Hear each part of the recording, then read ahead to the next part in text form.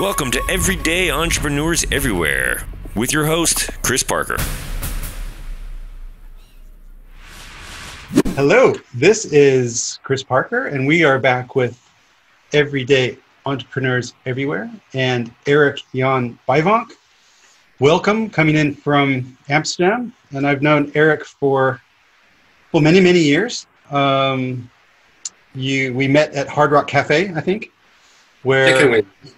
Having chicken wings, and your sister worked with me, and you ended up making um, what we think is the the first, well, at least your agency at that time, the first mobile app for fleets, managers, and mobility in in Europe, and um, that company back in the day. Um, the purpose of that company was was uh, doing phat shit, creating phat shit. So uh, hopefully Yes. we get into that. So Erik, can you um, introduce yourself, please, and tell us who you are, or what do you do, and and most importantly, why do you do what you do? Uh, oh my! All right. So I'm, I'm, I'm, I'm gonna, I'm gonna try. Well, you already know my, my name now. Um, there's a couple of things I would like to, uh, I think, share with you. So I was born in the Netherlands and raised abroad.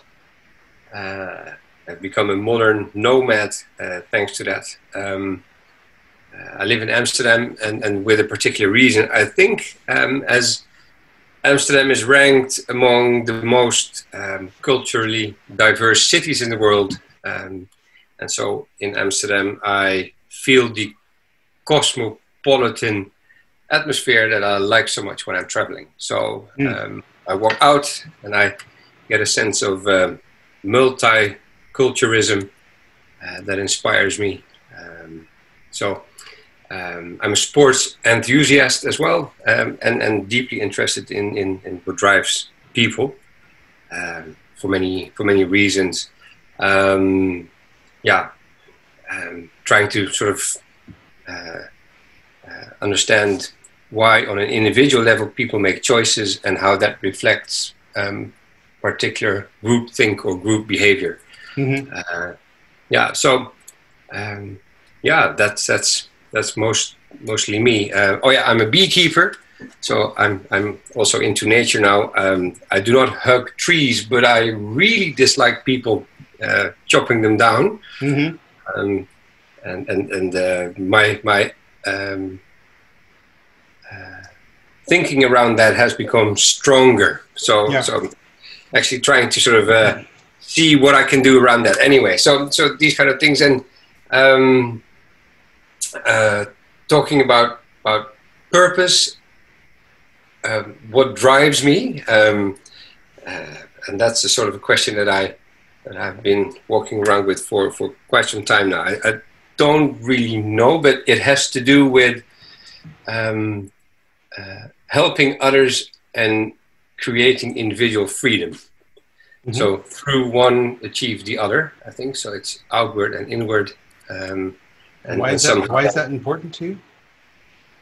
um, well, I don't know. Uh, it just I feel very energized after a meeting with someone and then understanding or getting a feeling that uh, I just helped the other to sort of um, Hmm. overcome uh, uh, thoughts or fears or uh, anxieties and fears, um, basically the same, but um, to sort of plant a new seed um, for their future thinking and for their activities. Yeah. Um, so, so that's what triggers me. So it could also be within organizations um, when it comes to, for instance, uh, digital transformation.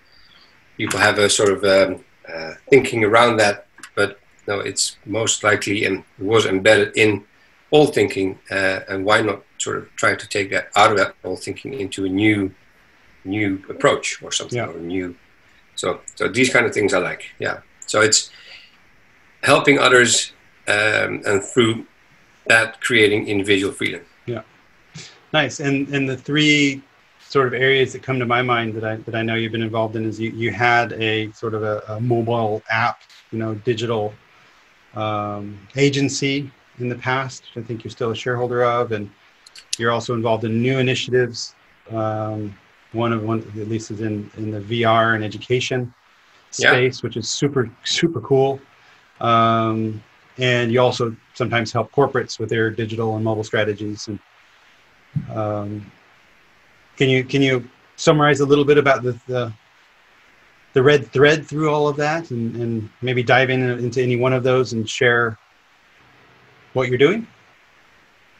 Yeah. Um, um, well, yes. I, well, I guess it has to do with the with the with with the purpose again. So, uh, working within an organization, or I used to be, um, uh, like many other people, just um, uh, working at uh, or with a company, not my own. Um, and and after a period of time, decided that you know working with this company just like that did not allow me to, um, uh, you know, think like I wanted to think and to try what I wanted to try. So the only way to do that basically was to break free from um, corporate environments and and and, and start an, start my own organization and.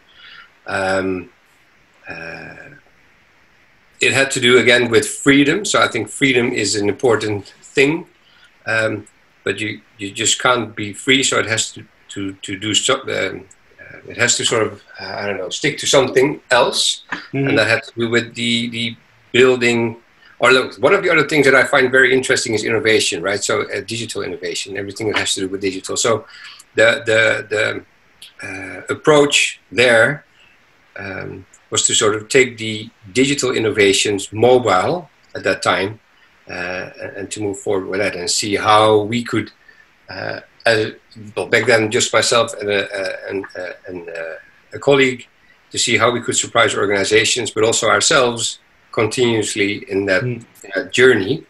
Um, uh, and that was, uh, yeah, again helping the other and creating individual freedom but then this in this case it was the organization so mm. and then we grew the organization and, and and, and tried to sort of keep that purpose alive um, and and we transformed that into building phat shit because uh, yeah phat shit and, was, and for the international yeah, audience um, phat shit um, uh, spelled p-h-a-t um, in, in, in, the, in translated back to Dutch, what does what does phat shit mean to you?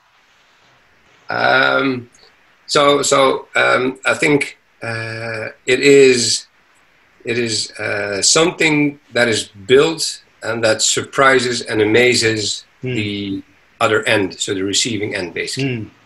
So yeah. something that they did not expect, uh, um, that that they yeah, well surprised in a positive way. So it has positive impact more so than they anticipated.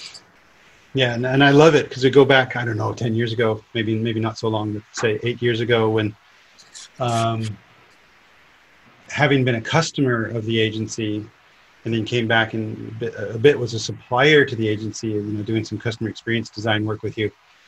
And even back then I was, you know, for me, it was purpose-based strategy, purpose-based design. And you as the, as the partners of that agency, uh, you actually wrote down that the purpose of your company was to create phat shit. You know, yes. and, and just the fact that you had explicitly written it down and used it as a sort of a guiding light, a northern light, and it's and it's still part of your DNA. I think is awesome. I think it's awesome. Yeah, well, I think the the, the, the funny thing about the the purpose there was I, I, I, very specifically know the the the place where we came up with this particular um, uh, purpose. It was uh, in Cape Town. Uh, the partners of the organization, uh, the three of us were having dinner and we had a glass of wine and, and, and we were discussing what we were actually doing and why we were doing it.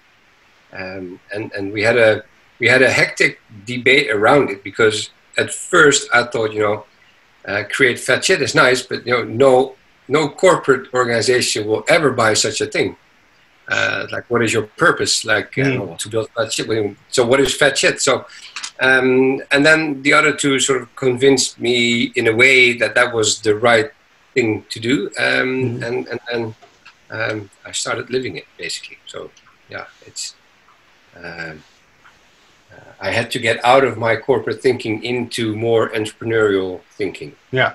Yeah. Which is which is which is a journey. So you seem to you seem to get yourself in trouble while drinking over dinner. As I remember, there was a time that we were drinking at an Indian restaurant in London, and um, We had just done a, a strategy. Of, of, one of the highlights of, of my, you know, career with LeasePlan was actually doing that mobile strategy where where Vivienne Meunier, uh, your your agency, yeah. my team, uh, we we created a, an immersive experience. We invited you know commercial people from all over the world from LeasePlan to come in and and um, experience the power of mobile applications. And we had my procurement manager, I think in Italy, bought some iPhone threes because those were the those, those weren't sim locked. Yeah. And then and then we created this sort of adventure that people had to go through and use all the capabilities, and then had them present back their ambition for the company, having yeah. used. Uh, it was absolutely brilliant. And when we were um, when we were celebrating that over Indian, it, it was lit- I wish I still had the napkin. We, we literally sketched out what would the prototype app be based on what we just heard. Yeah. With that cost. And we basically struck that deal while drinking in an Indian restaurant in London. And um, yeah. And then and then you guys built it. And I, I think parts of that app are still alive in some of the the, the LeasePlan country mobile apps. It's it's a yeah, and I think the thinking around it still is what um, uh, is the foundation for all the, I think all the LeasePlan applications. Mm. Well, yeah, maybe, but that's my my my thinking around it. Yeah. No, so so yeah, which is cool. I think so. The organization, the purpose, and so on, um, really nice. And and I think the the the um, you know the the purpose was or is the soul of the organization. I think uh, we we got many people and it served as a sort of magnet, and I think the interesting part of that organization or the agency still uh, is um, that it's an environment, a group environment, um, where you can collectively work and realize that particular uh, purpose, mm-hmm. and at the same time try to sort of figure out what your own or what your individual purpose is, and, and if the two mm-hmm. align, there's there's there's uh, a lot of energy uh, and foundation for for really cool stuff that will happen in the future. So I think, um, yeah, so purpose, individual purpose, organizational. I mean, the two ideally align, and if they don't, mm-hmm. then eventually one will stop or you will go somewhere else. But um, yeah, those were really great times. Yeah. Uh, absolutely great times, and I think that's um, we had a conversation re- recently about your superpower, um, and um, and my superpower because while yeah. both of us do you know coaching and mentoring and you know helping people succeed, but but um, at the moment you know just before Corona time, uh, and one your assignment with one of the large Dutch corporates is is getting wrapped up, um, unfortunately because of the Corona pressure I think on them. Um, both of us are, are looking for that, that environment where we can bring our superpower to bear as the next assignment. Yeah. Um, the, the, the, the, the, uh, the words we came up with are interesting and I'll let you share those in a second. Um, but it, reflecting on the conversation we're having right now, it seems you, you do have this balance of what I tease you about of, of having a captain corporate um, baseline or, or, or, or, yeah. or foundation and yet there's also this uh, reflective, innovative, challenging, um, opening. You know, so you somehow you can you embody the the, the maybe the, the operational excellence of, of traditional restrained constrained corporate, but then somehow open it up. So yeah. So Erik, what is your superpower? um, I don't know. Uh, well, we, we discussed this yesterday. So, uh, um, um, so one of the things that, that we came up yesterday was um, uh, fresh ideas, right? So, um, which is interesting. Uh, I think when I come to the table, so we can discuss a lot of things, but I will always try to find uh, an opposite angle of looking at the same issue and to see what comes out of that. So it might be uh, I'm not going to try any examples, but the thing right now in this Corona environment is, um, and, and, one of the reasons I think many organizations get stuck right now is that in times of fear and many difficulties, uh, the ones we're facing right now, they don't opt for the fresh ideas to to challenge or to to sort of um, solve their issues, but they revert to old procedures uh, and, and, and, and old thinking more so than anything else. And that's what I've been experiencing right now. So, um, and I think uh, in these times, fresh ideas um, are are what we need, or what yeah. organizations need to sort of um, uh, get through this crisis alive, and and to uh, uh, and not get too harmed. But then again, that's just my thinking. But I think my superpower is is the fresh um, the fresh ideas part, and and being able to um, create a team around that particular fresh idea and, and, and, and then transform that into a new process or a new product or a combination of both yeah. and, and see that to um, see that grow to a certain level. Yeah, yeah. and energize it. Perhaps yeah. through nice dinners. I don't know. Yeah. Nice. And and um, so that fresh ideas uh, bringing it in building the team and and um, you are also uh, an expert of many things, so so a bit of a generalist. What, how do you go? Through, you know, what is your process? And this is out of, out of my own interest as well, but maybe for the people listening.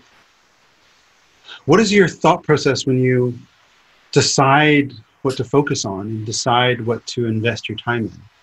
How do you how do you go through that decision making process?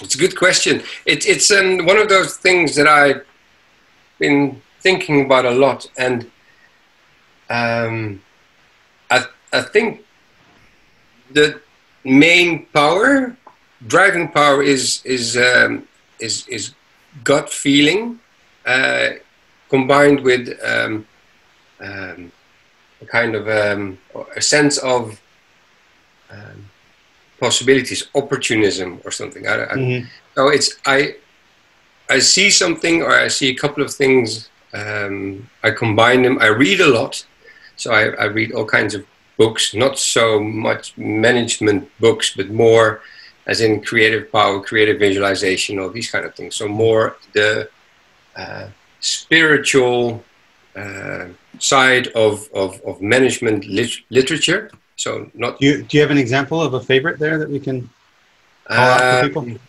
yeah, I will get to that in a moment. Yeah. Um, uh, uh, not by heart. I, am not so good at, at, at yeah. talking. Um, so, but uh, so more more that side, and and um, try to visualize um, how things can be. So I can uh, I can feel what it would be like if things would be a success. So I can mm. work towards that particular feeling. Mm-hmm. Um, and it's like i am also uh, like I just mentioned a, a beekeeper. Um, when you open up a hive, um, and the hive is in is, is in good condition, what you will notice is that fifty thousand or maybe hundred thousand bees are working um, like crazy and making a lot of noise, buzzing noise, but are in in no way um, dangerous or paying any attention to you. What they're doing is they're they're focusing on their specific tasks, and and and doing that. And and and and I don't think we have figured out everything about the beehive yet, because you know how can hundred thousand bees know uh, intuitively what they should be doing? So, but um, I think the visualization that I do or try to do many times, but I need to have a specific mindset uh, around that. Um, is is what what drives me. Mm-hmm. Uh, um, so it's it's it's it's these two things. Um, Again, I'm I'm triggered by, and, and, I think this is what one of the reasons why why it's always interesting to uh, work with you and and and to, to contribute with with your with your projects is that you have this balance of, of intuition, if you will, as well as as um, a bit of a rational side. Because you know your your background, you, you you actually have a management consulting background, um, yes. and then and then a, um, a balance into uh, entrepreneurial, running your own your own agency, and then helping companies, you know, truly corporate people like myself, actually achieve their goal. You know, like crazy idea of let's you know make the first mobile app you know, for, for Europe. Um, if we can turn the corner a little bit and go into VR training, um, how wh- what is that emotion that you're seeing in the future that you're planning backwards into your VR training initiative, which I've experienced myself first time, firsthand. You know, I've had it on. Yeah. Um, it's incredible. What's that? What did you think? Well, I think I was the first person, as usual, to have broken the uh, the system because the first time we went through it didn't work. But it was maybe it was also because my own uh, my my grasp of the Dutch language is is seriously wanting. Ah, right. Um, but to to the the the well, why don't you tell what the the the training app is is intended for, and then I will come back and, and, and share what I thought about it because in order for me to share what I thought about it, they need to know what it is. So can Yeah. you give a few few words on what is this VR training app? Yeah, so so the the uh, the VR training app is um, is an application or basically a, a, an interactive VR experience, Yeah, better. um, right? So you you put on the goggle uh, and then you will experience something. And the topic at this point in time is uh, ethnic profiling. Um, and ethnic profiling, as we all know, is kind of a, a hot topic at, uh, at the moment. And one of the reasons that I feel, or I'm, I'm almost convinced, um, but I feel very strongly that um, since there's so much information coming to us on a daily basis, um, uh, that we've become numb to a certain extent for all that information. So, Mm. um, like um, normal e-learning or just reading papers, um, uh, you know, doesn't do the trick anymore. I think when it comes to uh, the challenge to get something stick in someone's head in very little time. So to be able to do that, we need to upgrade uh, the level of excitement, basically, when you, are taught something. Um, and this this can be done, you know, if by an individual, uh, uh, his or herself, because you really enjoy thinking or talking about the topic. But if that's not the case, and you need to be forced to do something, I mean, as in within an organization, or forced because your boss would like to do it, or forced because you you need the certificate to get to a next level, then um, I think um, uh, we need to sort of um, look at different angles to, to get that level of excitement going. And I think VR, virtual reality, uh, you know, having the glasses uh, together with the, the sound and, and perhaps maybe in the future some more additions like uh, wind or smell, um, we can uh, actually sort of um, fool the brain into a, a real environment, real situation. And I think that can that is as exciting as it can get right now. So, and then obviously if you have the, the right quality of the, the, the, the video material and the interactiveness in it. So normally it's just a thing that you see from beginning to the end. You push play and that's it. Mhm. But if you're capable of also sort of directing, um, maybe even unknowing, direct the movie or the training in a certain direction, you know, you you you get sucked into the experience even more. And the thing, what we have seen, and it's, it's very powerful. What we have seen is that you know people in this uh, uh, field, like the police who are working with it right now, um, is that they're a bit reluctant at, uh, beforehand, but when they put on the glass, you can actually see their um, their physique change from sort of relaxed, um, as in I'm just here talking to you and so on, into a um, battle ready. Um, um, what do you call that? Um, uh, yeah, way they they they, Sort they of appear. si- uh, situationally alert because yes, the, the, yes, Yeah, because not being a police officer, but when I put the go- goggles on, and, and the setting was outside of a train station in the Netherlands, and that's a very Yeah. common social space in the Netherlands. And then there were all these human things going on, people walking by, some hoodlemish looking people over here of Yeah. a certain skin tone or not, and then there's a some shady looking drug dealy thing go, or something going on, and there's the Yeah, loner uh, over on on the, the bench, and and you, you, you sort of and all of these things are happening around you, and you have to look and see what's in the frame, and then basically you're you're asked to make decisions on I don't know what the best use of your time is, or how to how to achieve your mission, of public safety, or whatever it is. Yeah. And then you go up to the loner, or you go up to the hoodlum-looking people, or the drug dealing sort of people. Um, but it's a real life situation. Have, yeah, they're yeah. life situations, and it, it's yeah. sort of a choose yeah. your own adventure, but it's live, and it's immersive, and it's um, and and I'm sure there's something you know physiological or or something going on because uh, you know I think your brain re- really believes that it is in the situation. Yeah. To some level. So no, but I mean, the, the, the so it's meant as a dialogue starter. Mm. and it works. So when people put down the glasses, uh, the, the, go- the, the goggle, um, I mean, obviously the, the, the training or the Kickstarter for the dialogue is done, but they can't stop talking about it because they mm. they would like to discuss with you what just happened and why they chose a particular path. Mm-hmm. And I think that by itself is already so much more um, uh, exciting uh, and impactful on an, uh, an, individual level than just doing an e-learning and clicking away yeah. um, questions and, and looking yeah. at uh, 2D images. So I think not only not only a dialogue of um, you know between the participants because you can have multiple people do it at the same time and talk about why did you make the decision, but maybe also with the instructor or the expert. And what I really liked about the because um, that in itself was already incredible, but then then the data aspect of it as well, that um, you know that the data aspect of course is improving all the time but then to, to that's a secret huh? No, no. oh, oops sorry never mind. No, no yeah. But um, the the, the um, discovering of how you know what percentage of people went in certain directions and also how yes. long it took them to make decisions that they you know um, yeah it's so, just so data rich to, to discover okay well what are not only what are these biases that we could talk about because we see them and feel them but what sort of biases does, does the data show that you can come back and say, well, did you know that you know this also might be true? And I yeah. think that that is um, profound.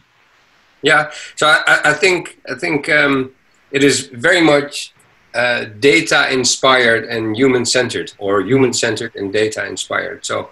Um, so we've got this first version right now. It's out mm-hmm. there. It was supposed to be a pilot, but you know it was actually too good for a pilot version. So now it's the real life thing. Mm-hmm. Uh, and obviously, the, the, the challenge now is to sort of come up with new versions of the same training, the same mm-hmm. uh, approach um, uh, to, to I don't know, tackle more, uh, more in depth the ethnic profiling part yeah. or uh, take into account um, other other directions. So not topic ethnic profiling, but something else like you know, safety, for instance. Uh, cool. So we've yeah. got about a minute or so left. Can, maybe can you can you start to, to close with, and let, us focus on this VR thing. Um, who who give, give me one or two examples of, of perfect use cases or perfect customers for this, and, and how can they get in touch with you? Ah, right. So so um, uh, I think. Um, like uh, so douane customs would be mm-hmm. very interesting for mm-hmm. this particular training approach, like the ethnic profiling, or the then not ethnic profiling, but profiling as a uh, as a topic, would be very interesting. I think um, safety as well, um, safety regulations. So. Um, uh, uh, dangerous environments. Mm. Uh, so you would visit a premise um, with dangerous goods or, or stuff, mm. and you need to be taught very mm. quickly, you know, what not to do, what to do. and I think then, you know, for quick learning, repetitive quick learning, uh, yeah. various people uh, and so on, uh, that these these kind of um, yeah, cool. that would very much be something that we could could do. Um, nice. yeah, I, and, could, yeah. yeah. I, I, could also imagine um, like customer experience design. So if you wanted to have a branded experience, you know, with a human to human experience and train people on how to resolve maybe conflicts in a retail situation or something. But, but Erik, how can people, I, I will post your uh, LinkedIn. Um, yeah. is, there any, is there another way that people can, can uh, reach out to you? Uh, yes, they can send um, obviously email to uh, erikjan at scopic.nl. Thank you, my friend. Thank you so much. Yes. Well, well done. Uh, Learn more at ebullient.com slash podcast.